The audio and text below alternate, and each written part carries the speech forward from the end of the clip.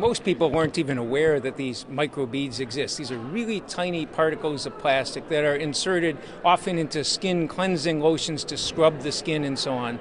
And people weren't aware of it and so on, but in the last few years it's just exploded the number of products that contain this.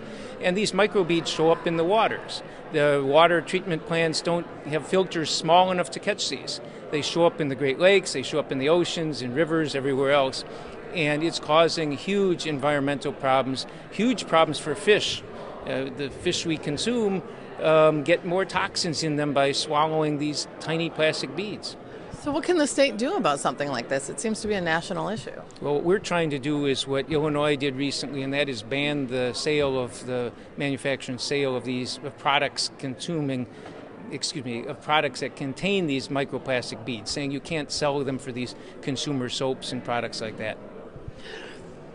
What can consumers do as this is going through the process? What do you want Minnesotans to know? And then what if banning these products proves to be pretty problematic? What could you do?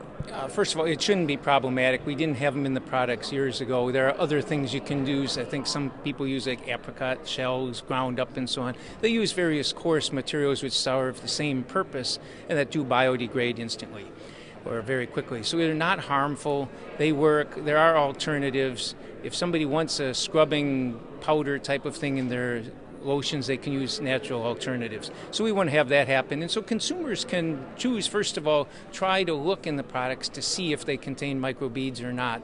And if they do, don't buy those products. Senator, you have a hearing scheduled for this on Tuesday. What do you anticipate?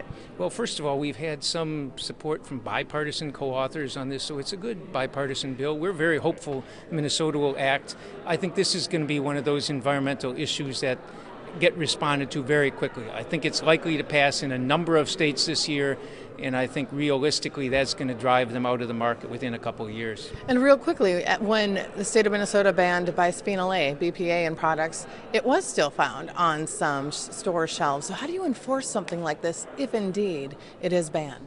This one, first of all, it'll be fairly easy to tell because you can just look at a you, BPA is harder to detect, but this you can just pour it out on a on a screen type of thing and you can see them show up. So I think it'll be enforceable, self-enforceable, and I realistically think unlike BPA, I think this is going to happen nationally within a few years.